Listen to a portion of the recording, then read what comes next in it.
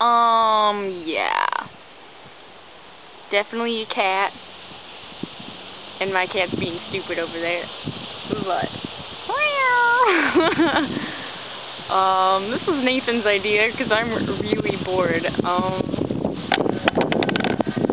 whoa, it's windy. Probably gonna have to find something else to do.